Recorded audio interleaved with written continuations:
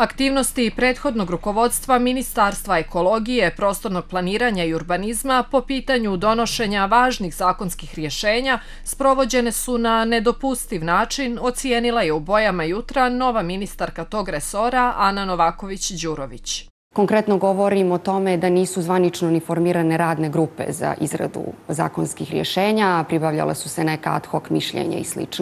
Dakle, na taj način se više neće raditi.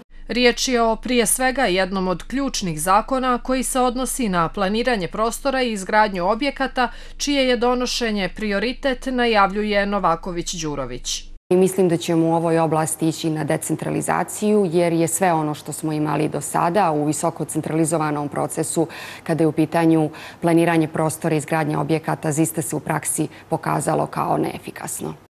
Od zakona o planiranju prostora i izgradnje objekata zavisit će i donošenje plana generalne regulacije Crne Gore, kao i prostornog plana države, čija je izrada više puta javno obećavana, čak i započeta, ali iz neobjašnjivih razloga, kaže Novaković-Đurović, već nekoliko mjeseci obustavljena. Očekujem da ćemo dobiti jedan dokument koji će biti plod javnog interesa u ovoj oblasti, a sigurno ne bilo koji drugih interesa i uticaja. Nadam se do kraja godine ili već u trećem kvartalu da možemo imati prostorni plan.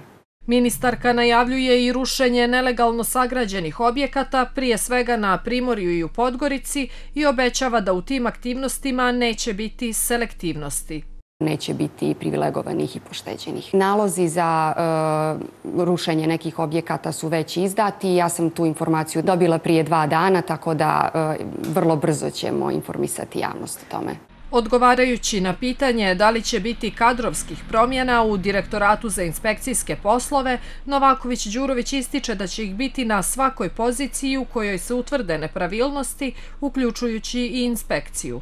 Preispitaće i da li je u proteklom periodu bilo zloupotreba u ovom resoru. Ukoliko u radu dođemo do informacija i saznanja e, da je bilo bilo kakvih e, nelegalnih protivzakonitih e, aktivnosti, i odluka i prethodne vlade i vlade prije e, prethodne vlade, sigurno da će ministarstvo i samo inicijativno uputiti se e, prema nadležnim institucijama, predati dokumentaciju kada i ako do nje dođe.